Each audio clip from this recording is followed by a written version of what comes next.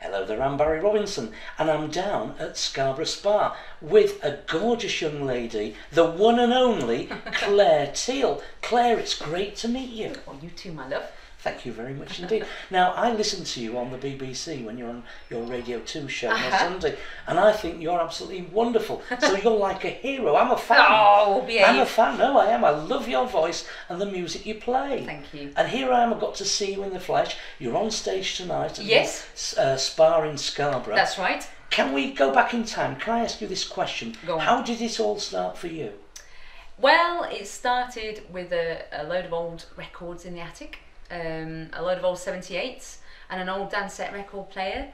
And uh, they were all big band records, um, British dance bands and American big bands. Um, and that was my gateway to music. I obviously heard pop music along the way, but it never moved me. And this kind of music just lit me up. And so from there, I heard um, Ella Fitzgerald and Louis Armstrong. I don't know, it would have been about six or seven, and that got me into jazz. So that was really my journey. And then I started singing while I was at university. I, I play lots of instruments quite badly, so I, I was playing instruments at university, and I started singing at university.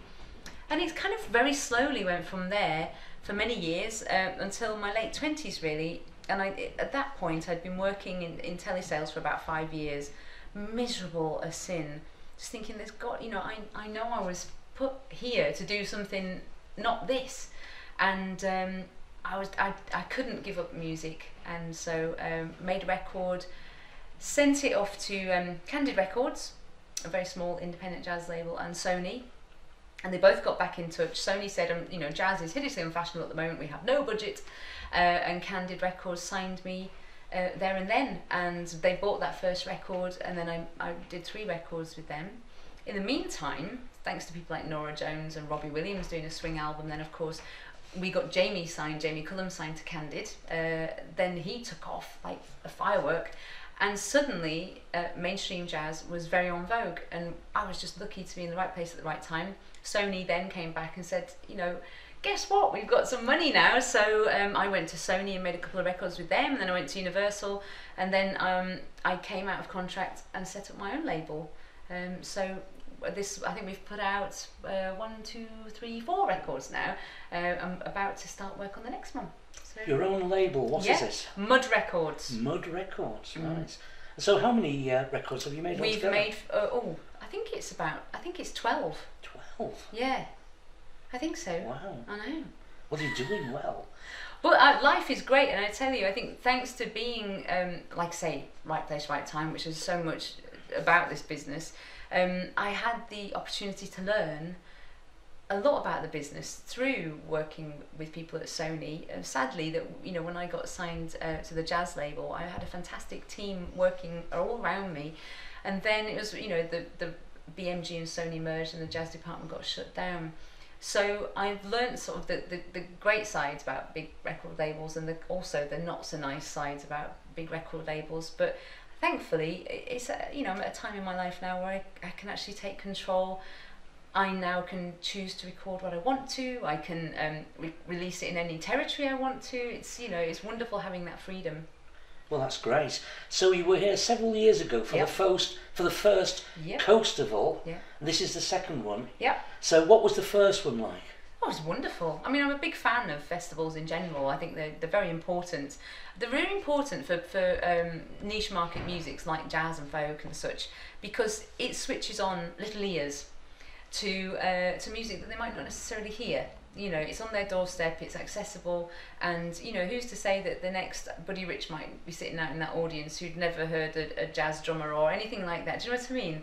Um, or a singer who I didn't know that was jazz, but I like that. I'd like to get more involved with that. Um, and it's just, I think it's great for kind of morale in, in communities when something like this happens because it's it's like, oh, we're in Scarborough and we do this and it's brilliant, you know. And uh, I, I mean, I have a real fondness with Scarborough because we used to come here on holidays. You're a Yorkshire lass. Absolutely. Whereabouts are you from? Very near Skipton, a tiny little village on the gateway to the Dales. But yeah, Scarborough was is very dear to my heart. My, you know, my, like I say, my folks used to holiday up here.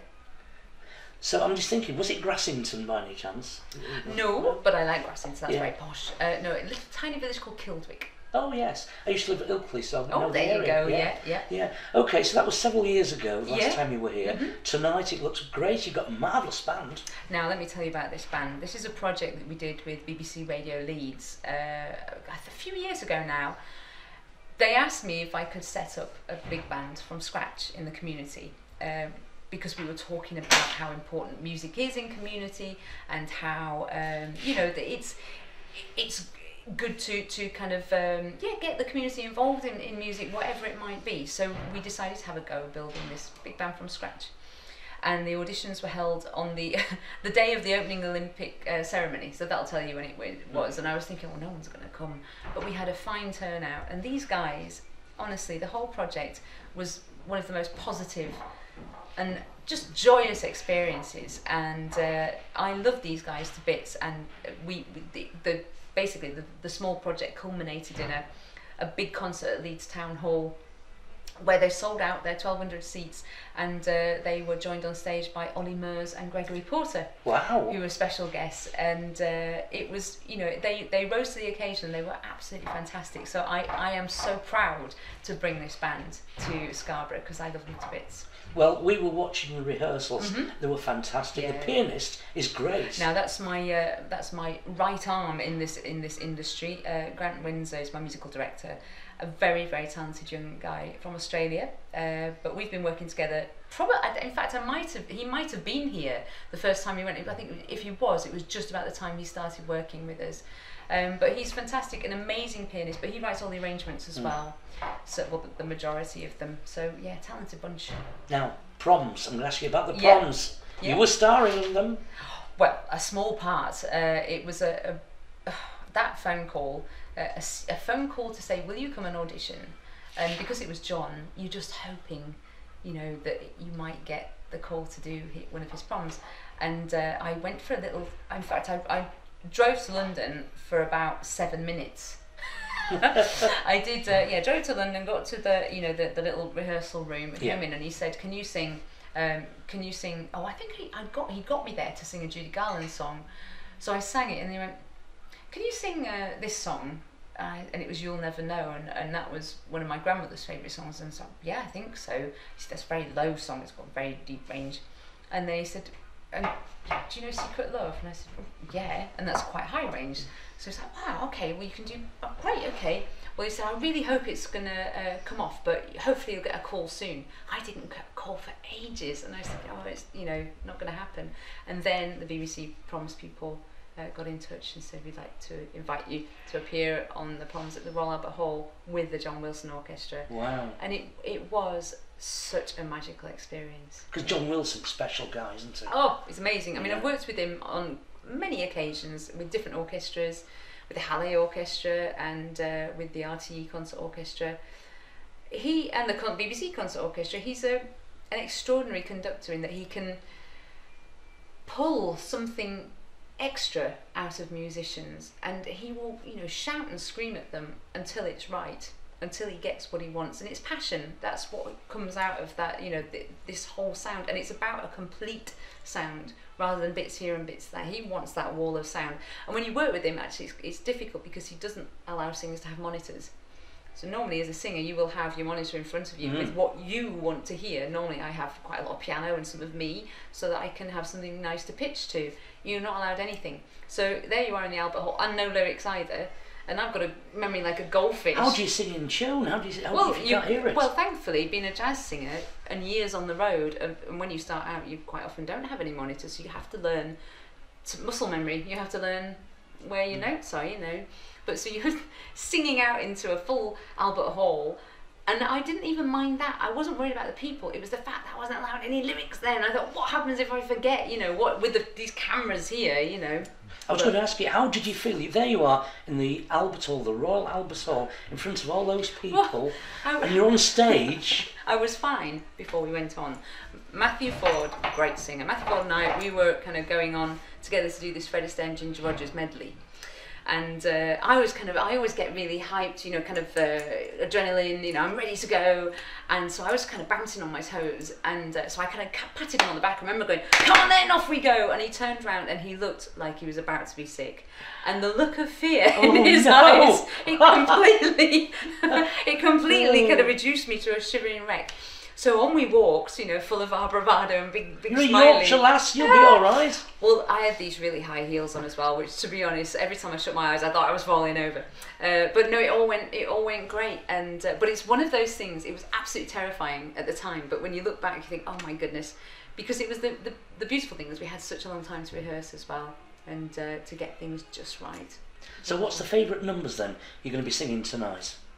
Well, the thing that I, I like to push about big band music is something I am passionate about. Big bands always play pop, you know, when, when they were the pop music of the day, uh, and they're very, very good at it. That collection of brass instruments can play anything, and that's what we try to demonstrate with this band. So you'll hear a bit of Count Basie, you'll hear a bit of Thad Jones, you'll hear um, some brand new material that's been arranged for them. You'll hear some of my songs, you'll hear um, AJ Brown, very great singer from Halifax, young lad. Um, and it's a whole mix of stuff. Um, some stuff from the 30s, some stuff from the 60s, some stuff from the you know from current present day, because it's a celebration of music and what this kind of you know instrument, if you call it, a collective instrument, can do, which is anything. Fantastic. So here we are in Scarborough. What do you think to Scarborough? I love Scarborough. I tell you, I've uh, yeah, just it's, I think it's the only place actually where you can still buy one of those full cooked breakfasts made out of rock. yeah, I love it. Okay, and finally, where do you see your career taking you to? Well, do you know? I think if I thought about that, I'd either jump off one of these cliffs here. I never, I never think about it actually. Um, I try, I work as hard as I can, and I guess that northern work ethic. You know, you've got to be lucky sometime. Is sort of how I see it. If I try and do the best I can and be in the right place at the right time, something will happen. And that's you know that's how the whole radio thing happened. And so what I try and do is just go from day to day and try and enjoy what I'm doing. And you know, picking up experiences like working with these guys, we wouldn't have ever for a second thought that we'd be able to bring this band to Coastival two years after after that project. You know, so you never know what's around the corner, and I like it that way. Well, well done. I will say 12 out of 10. I think you're amazing. Thank you, darling. Thank you for talking to me. No I'm Barry. Robinson talking to the one and only, the gorgeous Clare Teal.